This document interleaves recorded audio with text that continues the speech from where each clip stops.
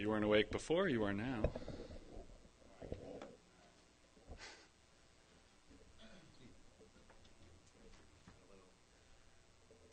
A little room to run here. Cool. Uh, sounds loud enough? Everyone in the back? Good? Sweet. Um, cool. Well, thank you everybody for coming. Uh, Howard and I are going to tell you about Elasticsearch and how we fell in love. We think after spending a little bit of time with it, you're going to fall in love too. Just for quick reference, I am the red um, lightsaber up here, laser pointer, and I'm the green one. so if you see us, we will might be uh, playing. Yeah.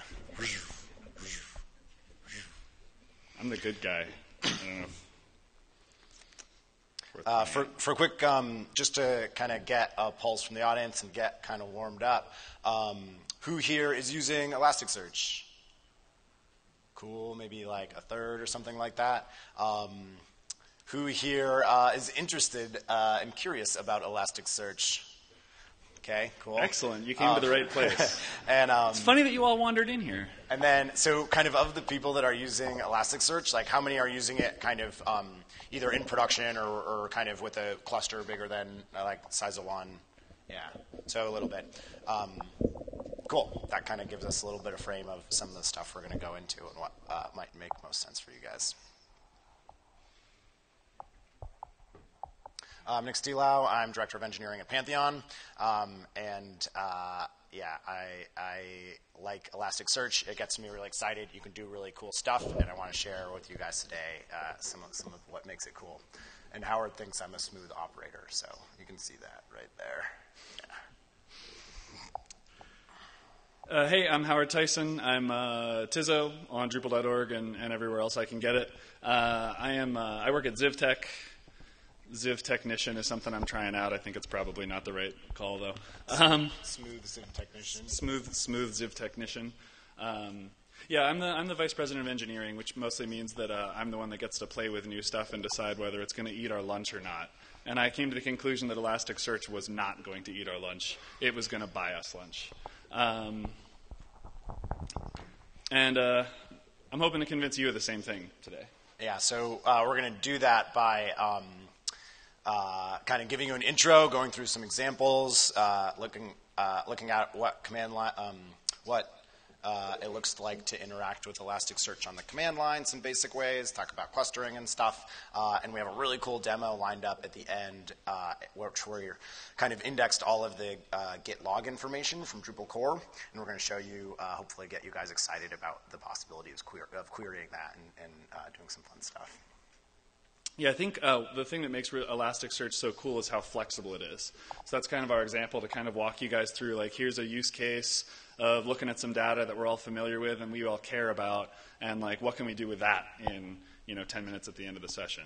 And it's a live demo, so what could possibly go wrong on the last day of DrupalCon? Um, and uh, this is all up online, uh, as, long, as well as like a little README that explains um, how to do the demo that we're showing here yourself. Um, gives you all the resources you need to set it up. Um, and uh, the slides that are up there need to be updated. Uh, we've got a couple of new commits uh, that we just that we just committed. Um, but yeah, we'll uh, push right after the session here. So, Nick, what's Elasticsearch? that's a good question. I'm so glad you asked, Howard. Um, so this is uh, Elasticsearch is a distributed open source search and analytics engine designed for horizontal scalability and easy management. That's a bit of a mouthful. We're going to dig into a little bit more about what that means. So first, uh, it's distributed, right? Which um, initially it, it, really just means that right you can you can have um, one or more of these nodes, and they can build out a cluster, which we'll talk about a little bit more and, and look at a little bit more. Um, but it's sort of built, it's the elastic in Elasticsearch, is that you can start with one of these nodes and you can just kind of start adding to it. Yeah. Um, uh, also, um, a good, like, we'll go over some concepts which are, like, generally um, uh, relevant to other distributed systems. Maybe that's Cassandra, something like that. Um, so some of the ideas we'll get into about distributed systems, which is a whole uh, kind of interesting area of computing, uh, analyzing failure modes, kind of either at scale or in the uh, kind of with real world problems like uh, you know the network not being reliable and that kind of thing. Uh, it's open source, like all good things uh, at this conference and everywhere else. It's under the Apache license, so it's pretty liberal. You can kind of do what you want with it. Um, and it's document oriented. Yeah, so that basically means you're just taking kind of uh, uh, basically what can be represented by JSON, key value pairs, throw it in there. You don't have to predefine the schema or anything like that. You can kind of throw in pretty much whatever you have. Um, and uh, it accepts nested documents, that kind of stuff. So you can, um, uh, within reason, kind of think of any JSON you have and just kind of uh, put it right in Elasticsearch and start uh, playing around with it. And so here our uh, example document is uh, what we're going to be showing for our kind of demo at the end. Um, here's just an individual commit, sort of as you might see from the uh, core queue. Um, that at timestamp is kind of a, a, a, pattern that people use with Elasticsearch because it makes this tool Kibana that we're going to talk about um, just sort of work out of the box, although yeah. you can do whatever. So Elasticsearch is described as near real time. And uh, Cosmic Alf over here is going to point out, like, well, the only difference between real time and near real time is that uh, near real time systems are not actually real time, right? So, what does near real time mean? Basically, you know, ideally, um, when you put a document in Elasticsearch, ideally it's, uh, you know, the next query you do will, uh, you know, include that in the result set if it's relevant. Um, this is really to distinguish Elasticsearch from kind of batch uh, batch-based indexing where um, it's not kind of it's not instantaneous, but it's near real time. If you reasonably kind of at the speed of a human insert a document and then query, you should get that in the result set.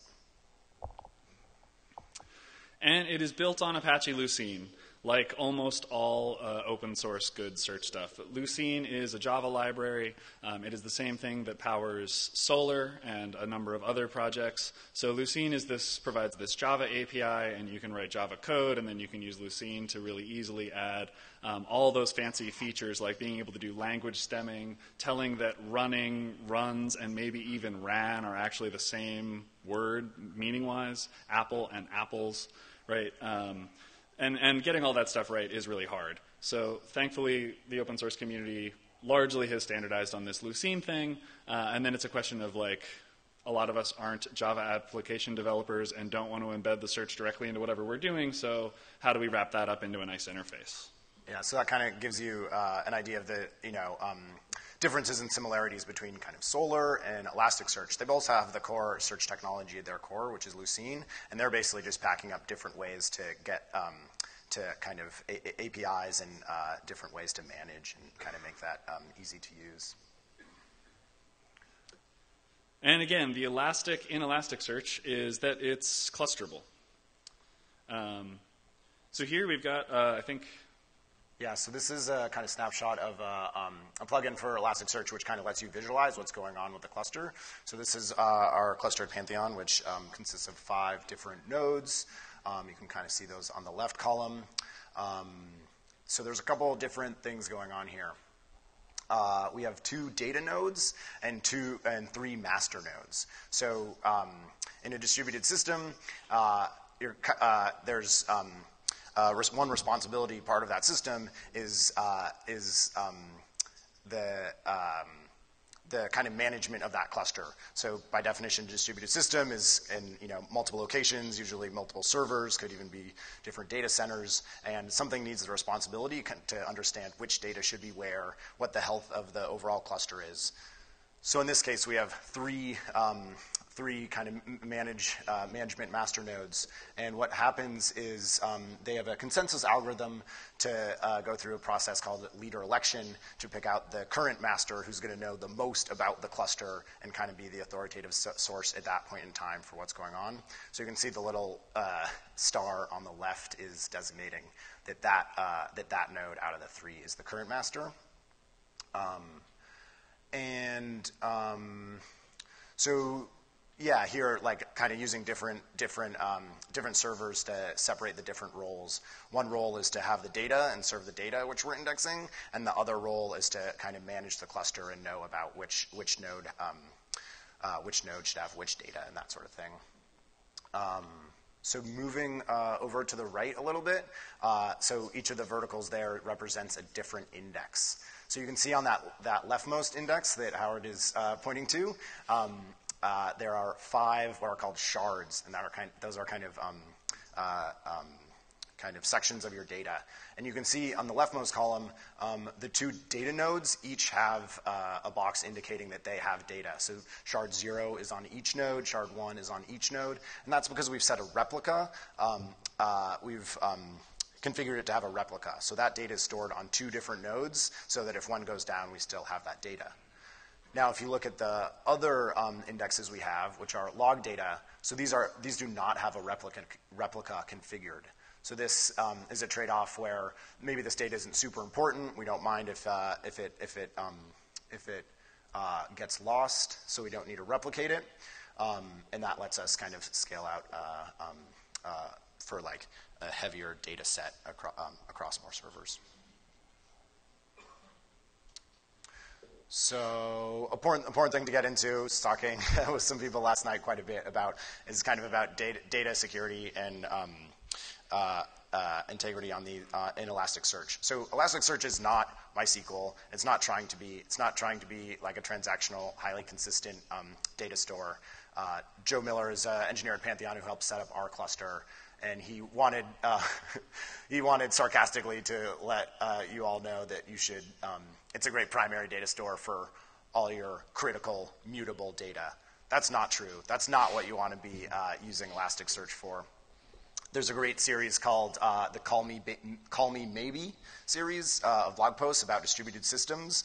And the joke, uh, kind of popular cultural reference, is like in distributed systems, you know, you may or may not kind of uh, get that call back, or you know, the data may or may not actually get there. And um, so I, I, love this one little little quote from the from the analysis of the new Elasticsearch, which is, you know, the Elasticsearch marketing website is all. Um, you know, we put your data first, and after like really digging into the code uh, specifically, coming out saying, well, to be precise, it's not putting your data first. It's putting it zero to five seconds after you write the data, and if the server was to blow up within those five seconds, you're not guaranteed to have that data. So this should help kind of frame uh, how you can um, use Elasticsearch, not as a primary data store. It's great if you can, you know, use uh, MySQL to regenerate the index data. Um, other stuff, uh, um, like in our case, we're going to be going through the git log, so we can blow away uh, all of Elasticsearch, rerun the git log stuff from uh, Drupal core, and get all that back in as index data. The Call Me Maybe series is, is really fascinating too. I highly recommend checking that out as extended reading, where they sort of um, he sort of takes all these these distributed systems that promise to be able to survive all kinds of partitions and failures and stuff, and um, he starts finding out like what happens when you really start just unplugging the plugs while they're running. Um, does a really nice job of that. Dude, Nick, I don't know why I should care about Elasticsearch. I've been searching for nodes since like 2005, man. Uh, you, you may have been searching, but you haven't been searching in style. Uh, yeah, so I mean, like a lot of people, I think I started out doing search in MySQL. Um, you know, you uh, you just kind of throw everything into MySQL, and it's your answer for everything. So you just start doing your search there. It's the kind of thing that we all sort of experiment with in college, like a lot of other things.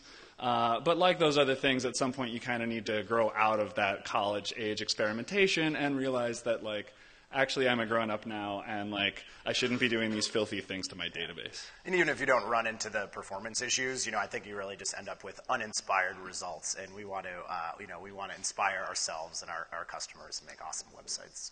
Yeah, MySQL search uh, not only will bring your site to a screeching halt, uh, but it also has the benefit of giving you terrible search results. Um, so Elasticsearch versus Solr, we kind of got at this a little bit before. Um, you know, they're both Apache 2 licensed. They're both supported by big commercial companies that are like that are pushing them. They both support HTTP indexes. Um, we're not going to go spend a whole time running this down. Solr versus Elasticsearch.com will give you your giant wall of checklists. Um, every time somebody adds a checklist on one side, the other organizations like run and try to um, add it on the other side as well there are some features that are on one and not the other, and if you really care about one of those, it could be a decider for you.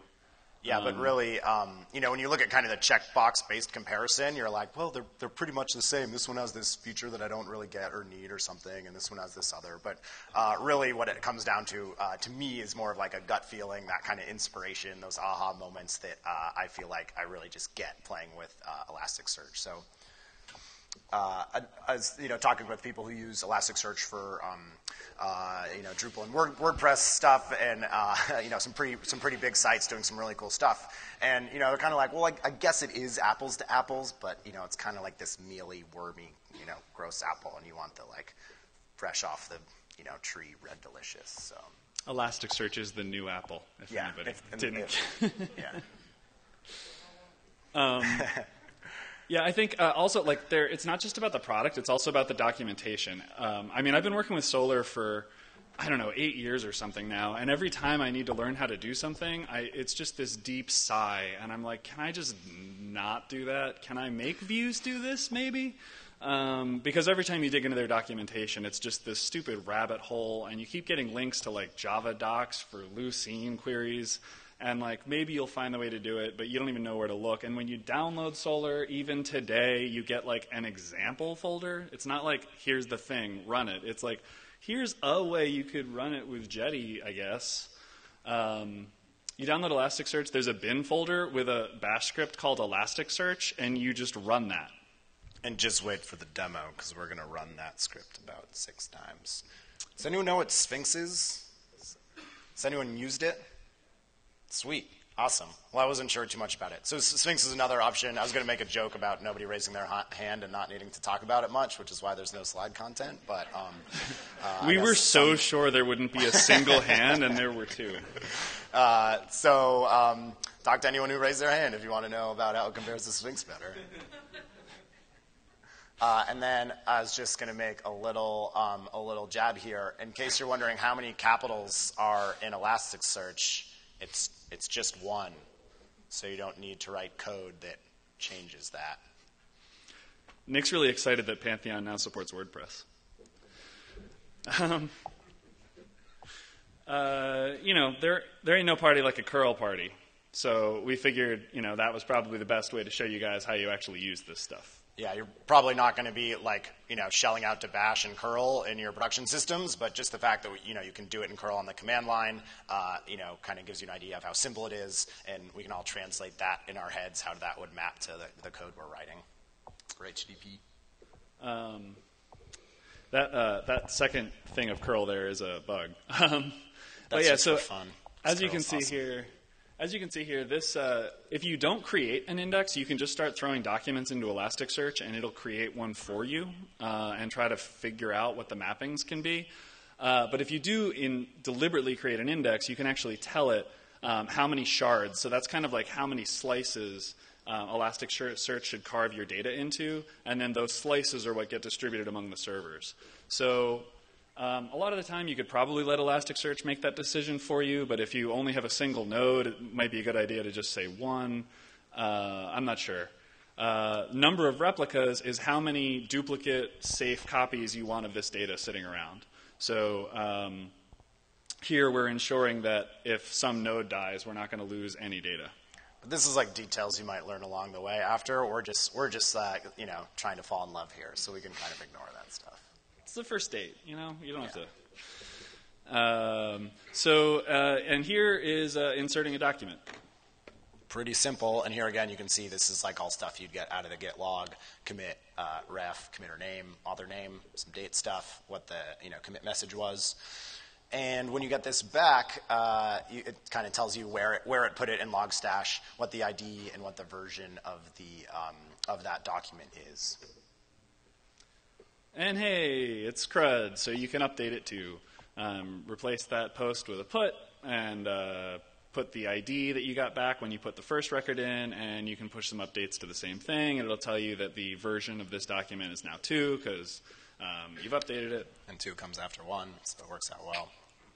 Um, uh, you can actually do partial updates too, but it it's, uh, kind of involves uh, going deeper. So um, sort of the simple CRUD, you push a new document in, it completely replaces the old one. Uh, and here, you know, again, this is CRUD, so this is the retrieve part. Separate from search, um, you can just grab a document by name. Cool. Let's get to the meaty stuff. Uh, so here, maybe the use case, uh, we have this all this uh, uh Git data in there, and like I want to find commits by XJM uh, matching with a subject matching views. So here, the kind of two key parts of the search are what the query is. So that can be a, a Lucene query, which can, you can get kind of fancy with, and then the filter. So in this case, the filter is going to restrict only, uh, only results where the author name is XJM, and then um, within that, it's going to use the query to um, find matching, matching results.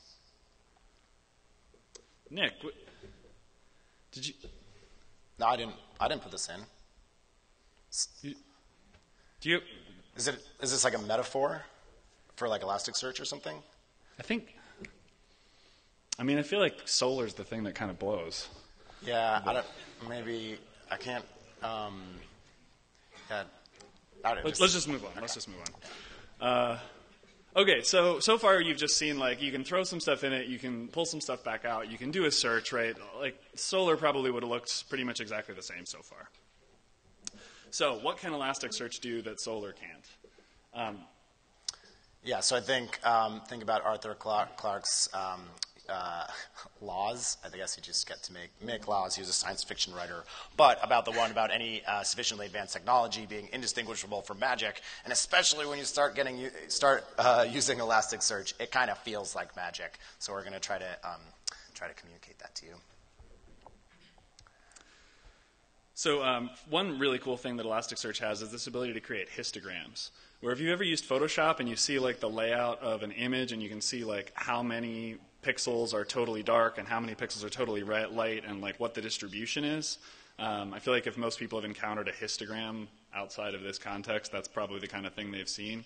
Uh, well, Elasticsearch makes it super easy to uh, make histograms of kind of like any kind of data. It's built in as like a primitive um, kind of query where you can say how you want to do um, a histogram query, how you want to do different um, bucketing to sort of, uh, even in a nested way, use bucketing to um, sort of structure, take all the things that fit into this category and, and give me overall counts and, and structure, and then um, even subdivide within that. So this is a little snapshot from uh, our log, uh, log um, uh, centralized logging in Pantheon, uh, you can see kind of, uh, so this is being bucketed on the timestamp field, and it's bucketed per one hour, and you can see on the bottom there kind of um, uh, how many how many of those different uh, events on Pantheon are happening um, over over those one hour uh, one hour one hour periods. And then the same thing for count split up by um, by role. So there's like 16, 164,000 events that were caused by the super user. Um, Nick, do you want to talk us through the score boosting? I sure do. So this is a pretty cool use case, right? So this is where we kind of start to get a little bit of inspiration into our search results. So you're like, okay, I have, you know, I have a lot of nodes. I have, I don't know, 10,000 nodes, and uh, what would be really cool is if we could really boost those, boost the search results based on um, what the popular nodes are. Like, okay, cool. Let's figure out how to do that uh, where do we store data about what our uh, you know, popular nodes are? Okay, Google Analytics. All right. So you could write a quick script that just goes to Google Analytics, gets, gets a list of each of um, you know, the top 100 uh, most popular um, uh, pages on your site, and um, uh, put that into Elasticsearch along, along um, uh, along with that document, uh, we could just make a custom field, maybe call it like GA rank or something like that. So we'd have 100 articles with a GA rank between 0 and 100, or 1 and 100. Um, and we can use this, uh, the kind of function score multiple. And as you can see in this snippet, we're going to say origin is 0, and that means the closer it is to 0, the more you want to boost, uh, boost that uh, search result. And then we only really care about the top kind of 100. So after 100, don't really give it much of a boost factor. Um, and so in this case, pretty, pretty straightforward to have a little um, cron script or whatever, which hits Google Analytics, gets your most popular articles, um, uh, updates, updates Elasticsearch with that ranking, and then uh, really easily on all your search results, boost those popular articles to the top. You could even take this further uh, using the same kind of function and get um, popular articles that were recently published. And so this is where kind of started the, you can start to see the, um, the, the power uh, and inspiration and flexibility in Elasticsearch. Uh, Elasticsearch also has like geo fields, so you can you can uh, you can also I've, I've heard about people um, arranging things in a two-dimensional space so that then you can do searches based on proximity of like not just latitude and longitude, but any two values um, to create like a two-dimensional plane and then do um, like regional searches based on that. You can get really crazy with this. Cool stuff. Um, Percolate. Percolate is a kind of bizarre feature that's uh, really cool. So what it lets you do in the abstract is store a set the word should be there. Store a set of queries, and then use documents to ask which queries would find this document. So you can basically like hey, say, hey, Solr, or sorry, Solr. Hey, uh, Solr is just like, I don't know what you're talking about. so then you ask Elasticsearch, hey, Elasticsearch, uh, I want you to remember this search where I want to find all of the uh, commits by Jess, uh, and then I want you to remember this one for like all of the commits that are related to security. And then you can start taking individual documents and saying, like, is which of these does this match? One, both, all.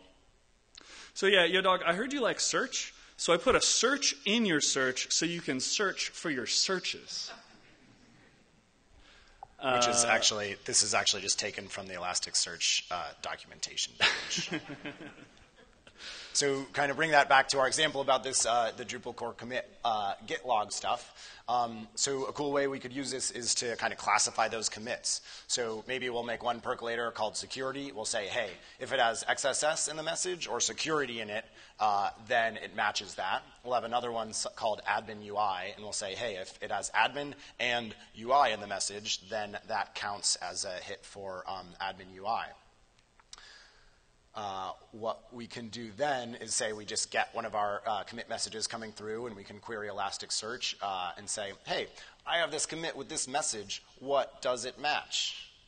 In this case, we'd get some results back that say, hey, you know what? That matches security. And we could use that to then tag that commit and have, uh, you know, have that um, kind of tag in the, in the database. So it's a cool way to kind of classify, classify data. So yeah, basically like here we just push a couple of uh, queries, same kind that we could just run against the documents that are indexed, um, right? And that creates, that stores those. And then we can just chuck a document at it and it'll tell us which of those queries match, which can be a really cool way to do something like alerting. Like maybe if you're aggregating PHP error logs, um, you could say like anytime I find a stack trace, uh, or you could say like follow syslog, and if I ever find OOM, then like wake somebody up. Um, right, so uh, it's a really cool way to do that. One note, um, it doesn't like auto tag. It's not like you can say, I'm adding this, run these queries, and then tag it with what matched. You'd have to do that yourself. But it's just a way to sort of like take this search and turn it inside out, where instead of storing all the documents and then asking questions about it, you can store all the questions and then throw documents in um, to find which questions matched um, which just opens you up to doing a whole bunch of stuff that I never would have thought about before. So, integrating Drupal with Elasticsearch. Um, there's a few ways to do it. Some of them are better than others. Uh, there's a couple of different Drupal modules you can use. The one that you might be inclined to reach for, who here uses Search API?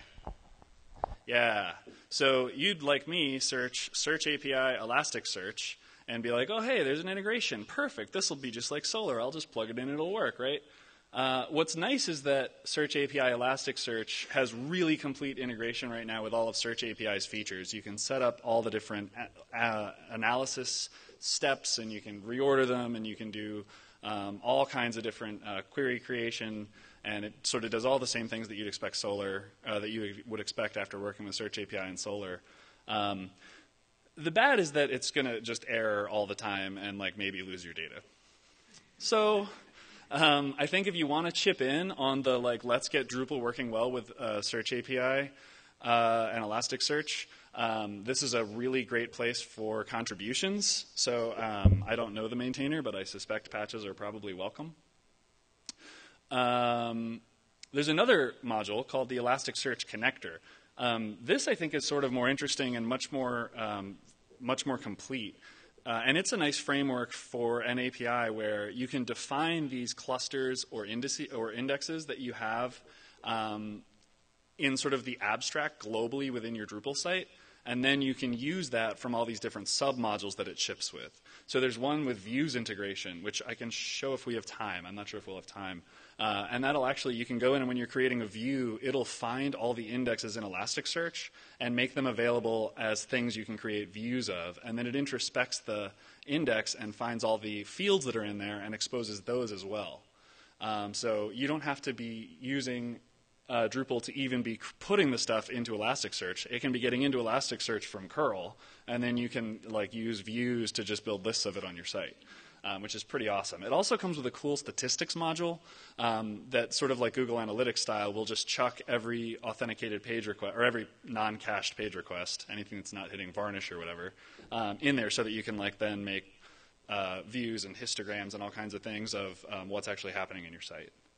Um, the bad, the uh, Search API integration is also there. So this module also ships with Search API integration. Um, the thing is, it doesn't enable a lot of the features that you'd be looking for. So like you can't adjust whether it's stripping or like whether it's doing highlighting or a whole bunch of other features that are really nice that are built into Search API and work with Solr. Um, if you're trying to decide for my Drupal site, should I use Elasticsearch or Solr um, for like my primary content search? I just want to like index all my nodes. I'm sorry to say this at an Elasticsearch talk, but just use Solr. You'll be happier with your life. It's uh, more complete. It's more well tested. Uh, and for like Elast- you know, Search API kind of gives you like not the lowest common denominator, but a common interface across these like back ends, so that you know, in theory, you can't even tell whether this is Solr or Mongo or Elasticsearch or whatever. Um, as like a lowest common denominator that only has all the shared features, like you're not going to get much out of Solr over Elasticsearch. Maybe next year we'll have better news. What's that? Maybe next year, uh, you know, we'll uh, sing a different tune. Yeah. Yeah. And maybe uh, Acquia and Pantheon add Elasticsearch hosting so we can like really use it on all our sites, right? Um, you betcha. uh, the other thing that you can do with Drupal and Elasticsearch is uh, log aggregation. So there's a couple different ways to do that. Um, one is you can use this cool new module by Amitai Burstein, um, Logs HTTP. And uh, you don't actually need any other intermediary. You can actually just wire this up and just say, like, let's say you had your uh, Elasticsearch instance running locally, you can just say my endpoint is that uh, URL wherever I can hit solar slash HTTP logs. This will create an index if it doesn't already exist. Um, slash message, and that'll just start creating those messages in that log. And you can say what log severity, and you can define a field for each environment so that dev, staging, and production can be differentiated.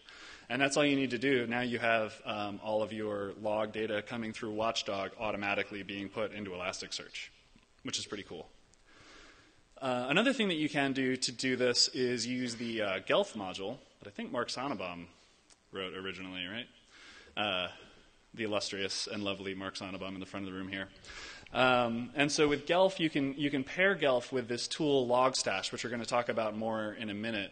Um, or the module, the, uh, the system that it was actually designed to be used with, uh, Graylog, which is this other log aggregation thing that also uses Elasticsearch, actually. Um, and they have this like kind of JSON format. And so this module will post that JSON format. So you can either have this go straight into Graylog or you could um, pass it through Logstash into Elasticsearch. Two really good ways to get those logs in, especially if you're doing other log aggregation, finding your MySQL slow query log, your Apache Access log, whatever, you can make like a unified log stream of all of that stuff so that you can look in one place and kind of identify like um, which sorts of requests were having these kinds of problems and, and have that in one place. Yeah, and this is an awesome way just to get some data in Elasticsearch and then you can start playing with it. it also kind of speaks, uh, yeah, to, um, there are two like general primary use cases right now. Um, uh, for like around the kind of the on the um, Drupal side. So one is uh, helping you actually serve your um, search results better to your end users, and then the other is more of a kind of operational tool to understand what's happening on your site, and that's where kind of having the logs might help you see if you're being attacked or what pages are 404ing or kind of what your traffic patterns are or anything like that. Um, so the other way, wow, uh, this monitor is really low uh, contrast. Um, the other way that you can do it is just using custom code. So um, this is a little snippet from a module that I wrote for a uh, for a Drupal 6 UberCart site. So this Drupal 6 UberCart site has like some of the screaming fast, most cutting edge uh, search technology uh, of any site that I've worked on in UberCart. Um, sorry, I'm just sharing my pain. I just want a little validation here. Um, so, uh, so here's an example of, uh, of how you can just like write this code, um, and you can see it's going to sort of look a lot like the stuff that we were seeing in the examples before. Um, this is using one of the Elasticsearch clients uh, that I think are sort of officially listed from the um, Elasticsearch documentation. So you can see here, like I just have this client class, and I'm calling indexes uh, indices create, and I'm handing in this description that says. Um, um, the number of shards, one. The number of replicas, zero. I don't care if this data goes away, I can just reindex it. Um, it's defining um, auto suggest uh, completion things so that uh, Elasticsearch has a built in feature. You don't have to just do a full search. Um, it has a bunch of sort of like memory optimization stuff for doing type ahead. So you can tell it kind of like what fields you should be able to do type ahead on, and uh, it'll make that really fast for you. And then here's some custom code to query. Um, you'll see here um, I'm taking just some search phrase and I'm telling it what fields to search across, and then I'm giving it uh, Lucene, um, what are they called? Boosts? Yeah, boost factor. Uh, Lucene boost factor, where I'm saying if it's in the name, which is the username, um, give it a boost of plus four. If it's, the, if it's within the full name, then a two. And then if it's in any of these other fields, um, neutral. No better, no worse. Um, so, uh, right, create the index, uh, perform searches on it. Um, I don't have a slide for pushing stuff in, but it's kind of exactly what you'd expect. You just make an object and you call this method on client to say um, index this. Um, so in like 100 lines of code, you can actually just create your own custom search. Um, if if this other stuff doesn't sort of work for you, if you can't just plug in Elasticsearch uh, or you know one of these Elasticsearch integration modules or the Solr integration module. It's really not a lot of code to write your own custom integrations, um, especially as clean and well documented as the Elasticsearch API is. So here I needed like really good user search in Drupal 6 uh, with uh, address data from UberCart, and like I was able to write that in a day. Um, and it way outperformed um, all the other stuff that we had tried out for it. Um, so that's kind of the like most of the Drupal use case. But the thing is, part of what's given Elasticsearch so much in the way of legs is um, how well it works for DevOpsy people. Yeah. Sweet. Um, so we want to introduce you to the, what's called the ELK stack. So this is Elasticsearch, Logstash, and Kibana. So these are all kind of three tools provided by Elastic Co., which is the company kind of behind this. Uh, this gets us to some cool use cases. This is kind of what we use it for at Pantheon for centralized logging. This is basically like the killer app for logs uh, for Elasticsearch. Um, I think this is a way a lot of um, people, organizations will start using Elasticsearch is that kind of like the operations team, tech ops, DevOps, whatever it is, kind of are like, hey, let's use this. It's like a really great way to look at our logs, see what's happening on the, on the system so we don't have to log into each different server when something goes wrong. Uh, and then, you know, that this might be a way that people kind of fall in love with uh, Elasticsearch and, uh, and then bring it to other parts of the organization. Um, so we went over a couple ways, right? Like the key is to get your data into Elasticsearch, and that's when the fun begins. Howard went over a couple of uh, you know cool, easy ways to get that in. Uh, maybe something like a Drupal logs HTTP module. You know, you can just hook up uh, syslog or um, journald if you're running a uh, systemd based distro like Fedora. Um, or you can kind of get. There's lots of ways to get your logs in. Um, so like, and, and, there's a contrib project that has even more, like uh, a thing that'll read DB log records out of your Drupal database. That ships with logstash contrib. Yeah. Don't don't do that.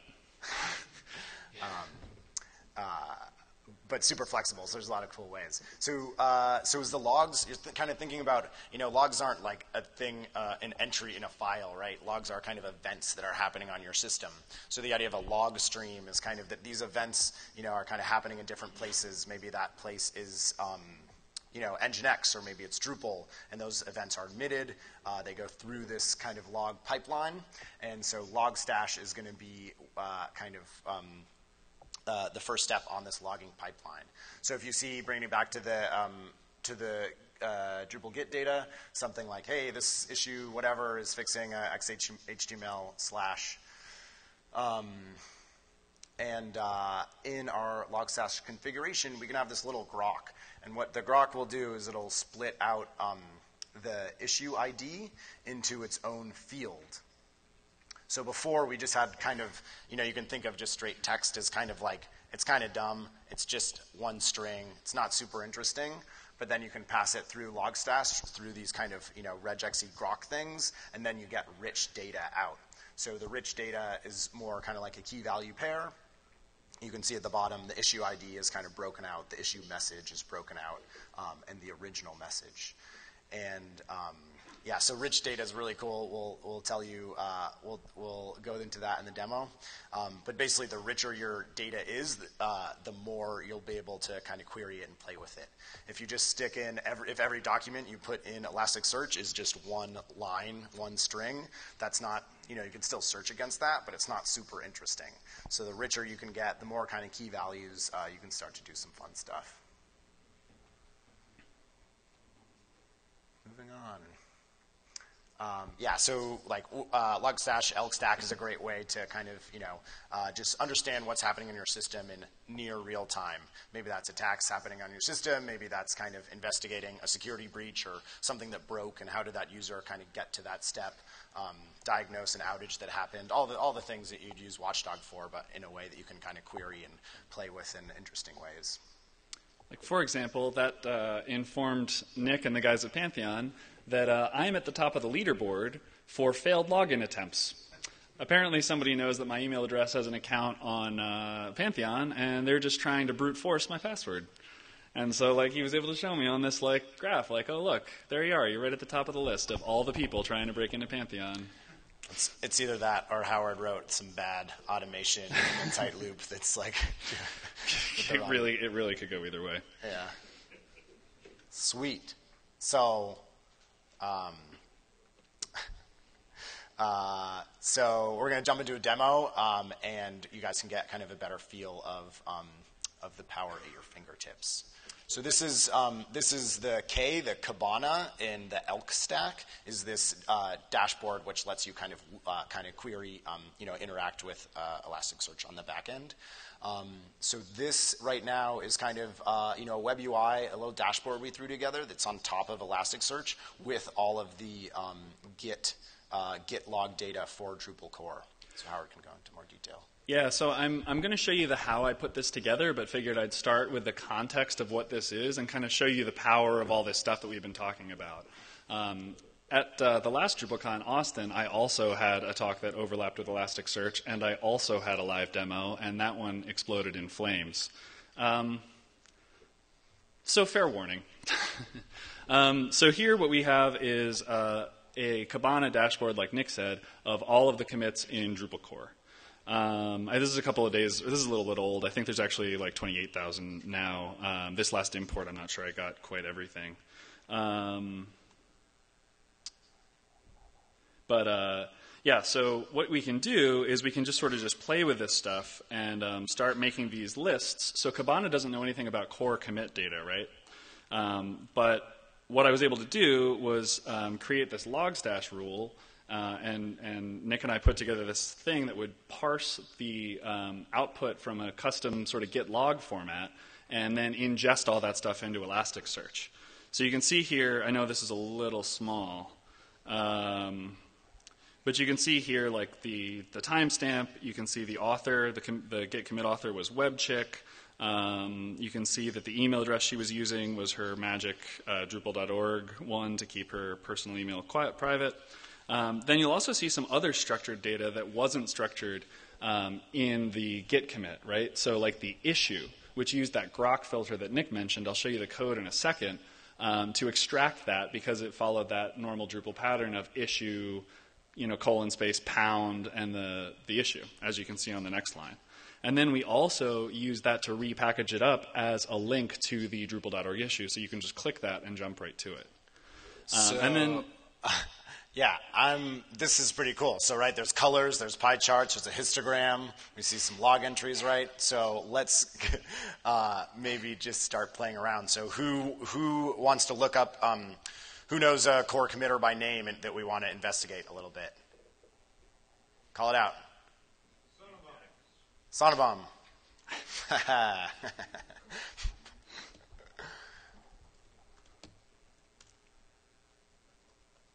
Bam, hey, there we go. So there are 43 commits that are Nice tagged work, Mark Sonnabaum.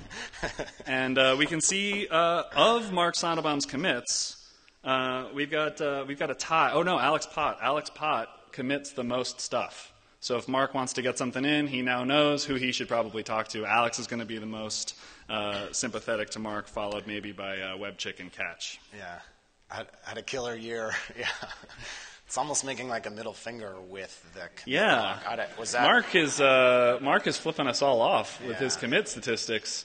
Uh, 25 of them in 2012. Uh, Mark, big year? what happened? You done? He's You, done. You did it. He's you, done. You, you you did it all. Yeah. um, and then so the uh, the other the little table there is um, is. Uh, it Is- by- it's is the- a histogram by issue, issue. So on the left, it's the issue number, and then it's how many commits were committed for that issue number. So you can see that when Mark was committing, every uh, issue he addressed, he addressed with a single commit. Bam. But if we take off uh, the the filter on Mark, we can see that wow, this one um, this one issue uh, six four two zero um, took 21 commits to do. We're like, what is that? Okay, they they were all done by Dries. Uh, let's dig in a little bit more. See, it was uh, it was all in 2005. Okay, we're we're learning the story here a little bit. There we go. We see that it uh, had something to do with renaming aggregator module. But then he, but then also all Do the other want, do commits. we want to know more? Well, you know, so look at the other commits there. Oh, that's renaming. Um, looks like a lot of module renaming. So I don't know. I'm just kind of putting this together, but maybe there's an issue that um, you know is kind of doing a, a refactor in the code base, renaming or moving it around, and uh, instead of lumping in that into one huge commit, which would be scary to push, uh, there was one issue queue on uh, one issue on D.O, but that actually happened in a number of commits. I would imagine just to make the um, you know, the, if it's a refactor to kind of make it a little more sane. And then we have that nice uh, feature here.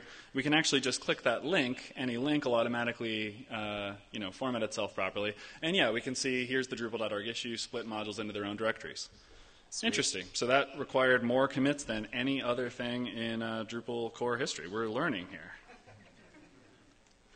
Um, and H- Howard and I are excited to use use this um, database to uh, to give us a leg up at trivia tonight. We think we can really, yeah. Um, yeah, and then we can just say, like, oh, what about a different time interval? So I was looking at the last 15 years, but what if I just wanted to look at the last year? So there we go. We have a lot less committers, and we can see kind of a different graph here. It's a little bit more detailed. It's now automatically um, splitting things up by day. So this is the last year by day. I can see that the most commits happened on uh, January 11th. Interesting. Alex Pott, 62% of the commits. So he is either just really working hard or his standards are a little lower. um, just teasing. Um, you can see that we've got 35 by Catch, we've got 33 by uh, XJM, Jennifer Hodgdon 64, right? It's just really easy to start exploring these. And again, we can click on any one of these and it'll refilter. So now, um, now we're seeing just the commits that, uh, and again, this is being pulled from author data, so there's some uh, overlap with between usernames and actual names, depending on what people had in their Git config at the time they committed it. Yeah, you can also track kind of people's identity as their name or you know uh, um, handle change over time. One other nice feature, Logstash automatically will um, create uh, two different indexes. One is the raw, and the other one is the analyzed uh, copy of the field. So one is like broken up by tokens, but the other one has the full value, which allows you to kind of do different things here depending on the nature of that data. Yeah, and if you remember back to when we were writing a query in curl, there were two parts of it. There was the query, and then there were filters. And so that totally maps to the top section of Kibana there. Um, so the top is the is the query, and then uh, below that there are the filters. And so that the, we're filtering by a specific author, and then we're querying for what did you type in there, Howard? Security. Security. So uh, um, for security commits uh, for this author, um, uh, and you can see those issues there. Actually, I split out the author. So we are requiring author. So anything that's missing an author um, doesn't show up. Okay. Um, that's because the way I did the uh, log output, uh, we were kind of losing any commit that had quotes in the message. Eh, it's a little imperfect. Version, could use, could use a be, little. That'll be little fixed in version two. Yeah, version two of this talk. Yeah. What, uh, can someone shout out something else we want to search for for in Drupal commits? What do you want to search for? Yes. Can you find the day that Nate changed his, uh, Nat changed his name from Nat, or from Catch to name Catchpole? Oh, interesting. Yeah. So we'd first probably we want to go back for a while, and then um, Yeah, actually- because we're not sure when that happened, and um, uh, might want to uh, uh, query query in just on both of those names, and I don't know. Let's see if I pick this. Um, So we can see where it's it, it started.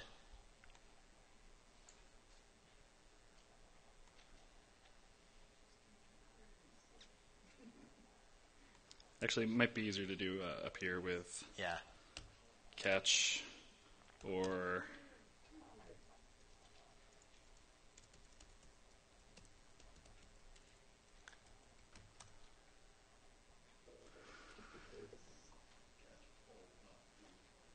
oh yeah Yeah, Elasticsearch just fixes that for you, so you don't even have to worry about it. So it's awesome. Um, so if I clicked on either one of these, I could see that uh, the oldest one here is uh, from 2012 December. Um, if I dropped that filter, I could see that um, the oldest one here is uh, 2012 December. I think he just has two computers and they're configured differently. Maybe Yes, I think we. it seems like the exact same uh, breakdown. What's that?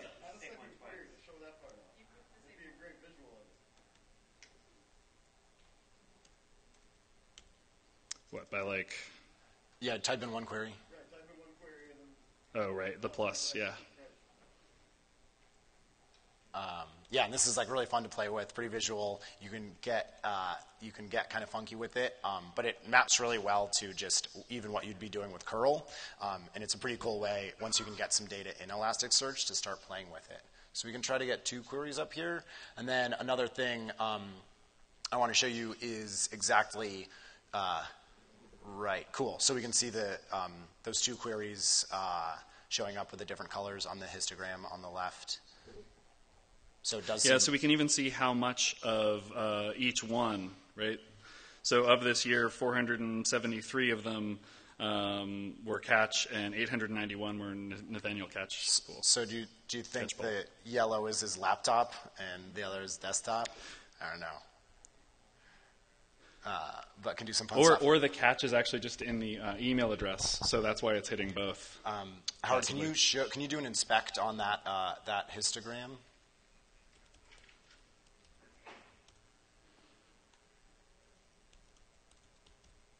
Yes. First, I wanted to see. Oh, interesting, huh? Um, so if we do an inspect, you're actually going to see how awesome is that? It actually prints out the curl command that you'd run to run this query yourself in the command line against um, the uh, index. So while we're doing live demos, it might crash and burn. Howard, do you want to just copy and paste that and see uh, see if we get results on the command line? What could possibly go wrong? Something- Amitai always tells me you should do more live demos. Some, something something with the white space could go wrong. Uh, and this is also a cool way, right? So you get some data in, and then you can actually just do this inspect and kind of see uh, the, the, a little more advanced queries that Kibana is generating for you to kind of learn some of that cool syntax. So there we go. What we see coming back out, uh, this took three milliseconds, I guess. Uh, didn't time out. It hit five different shards. Um, three were successful, zero failed. Um, we had uh, 17,000 hits. Um, and then uh, we can see that it's, it's breaking things down by term here, and we can see exactly how many fell into each one of these categories. Cool. So we have about 10 minutes left. Um, and uh, uh, again, the, um, on github.com slash Tizzo, um, uh, the examples and all the slides are up here, so we can uh, you guys can play around with that. We can also walk you through um, if you have any questions, uh, ping either of us. Um, but uh, this is a cool way to you know have some fun, do some exploring. Um, this is the kind of stuff I love to do at Pantheon with our logs and kind of under you know understand, try to um, do a little bit of sleuthing and figure out what uh, what stories the logs are telling you um, in some cool ways. Um, so I think Howard's going to go over a little bit of, uh, um, oh, actually continue the demo to more like command line, how we're like going to spin up uh, the kind of cluster clustering aspect. Um, can you guys see that? You can just command plus too. Yeah, I just wanted to see if I could. Uh,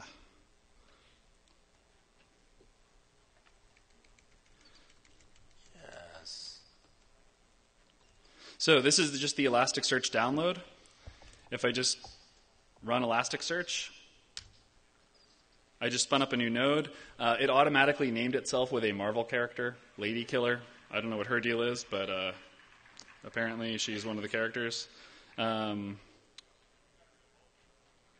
and in theory, in just a second here, um, we should see a new node just sort of pop up.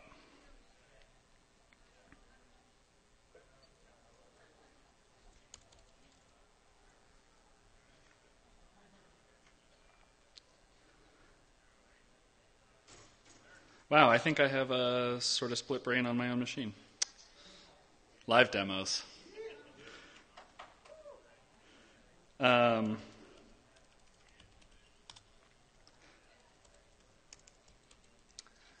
Um, cool. Well, I think uh, maybe now is a good time um, to just uh, open up for QA if anybody has any particular questions about Elasticsearch or this uh, commit data. I think if you could get up to the mic, that would help us, or, or you can shout and I'll repeat it. But. Um, the question was uh, about Kibana 3 versus Kibana 4. Um, um, I, Kibana 4 is going to be awesome. Uh, it's going to be better than Kibana 3. Uh, um, I think we just um, I haven't I haven't used Kibana 4, but I'm I'll, you know it's on the list. So for me, what's up?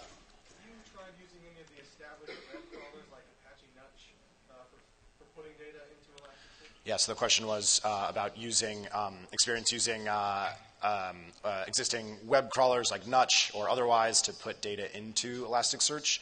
Um, no, I haven't. Um, um but it sounds like an awesome, awesome, awesome project. Um, and uh, yeah, yeah, it seems, it seems like it would be totally possible. You know, and I think that to me the idea that it's so clear what's happening because you can use Elasticsearch so easily that I'm not even sure the specifics of Nutch, but it seems like there's got to be a way to make that happen. It might take a little duct tape and glue to go from whatever format Nutch likes to kind of an output that looks like Elasticsearch. Um, but uh, yeah, sounds like a cool project, and it sounds like something that would, uh, you could throw together pretty quickly. And for what it's worth, uh, you'll notice that um, now as I add Elasticsearch nodes, uh, I had to kill everything. I had, I had, some networking stuff, I think, going on. Um, now you can see that we're building out a cluster. I just added three new nodes to it. Why not? Let's make it four. Yes. All I'm running is dot .bin slash Elasticsearch, and these nodes are just showing up, popping into the list. Um, and Elasticsearch will even automatically start distributing the shards among those nodes as we have data to uh, to pull in. Yeah, and, See, and now I'm seeing the smiling of like the, that's the magic of Elasticsearch. That stuff is awesome. If you've ever set up other distributed systems, um, this is unusual that you just put them in the same network and they just find each other. Um, if- although they did invent their own magic for that. So uh, it's kind of got its own eccentricities, and like the fact that you might have already worked with a distributed system like Zookeeper might not actually mean you know how to troubleshoot their own magic Zen disco thing. If something does go wrong, you can just blame it on the names. Like um, Lady, who is it? Something wasn't up to it, but Lord Chaos is totally up to Cluster. So, Oh, so man. much so that he became the master. Hulk smash. Mark, you want to kick, uh, kick us off? You very briefly mentioned uh, mapping. Yeah. I don't know if you maybe wanted to spend a time or just explain what mapping is and how schema works in Elasticsearch. Uh, because I think everything you showed so far is just uh, the implicit schema, Yeah. And maybe why that's not a great idea. Yeah. Right. So, so uh, kind of by default, if you don't define um, a schema and map different um, document types to kind of what their structure is going to be, Elasticsearch just tries to figure it out.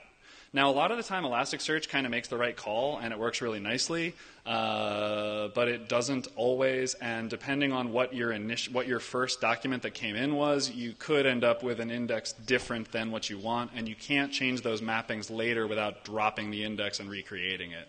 So, um, right, if you want to make sure that you've described to Elasticsearch that that's not a long, it is a date um, right? You might want to tell it what that timestamp is, or Elasticsearch might guess wrong.